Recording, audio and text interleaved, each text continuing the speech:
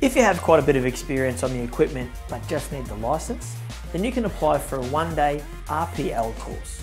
RPL stands for Recognition of Prior Learning. We just need some documents from you to prove your experience, either a letter from your employer or a stat dec, and that can make up part of your application for the one day course.